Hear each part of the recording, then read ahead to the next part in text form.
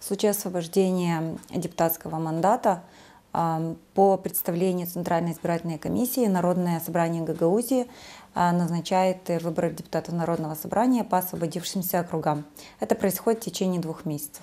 За 60 дней а, до даты назначения выборов Центральная избирательная комиссия начинает свою работу. И как были процедуры все согласно избирательного кодекса на этих выборах, на предыдущих выборах, точно так же по этим же процедурам будут избираться в этих двух освободившихся округах э, депутаты. То есть будут собраны подписные листы, будут регистрироваться кандидаты и так далее.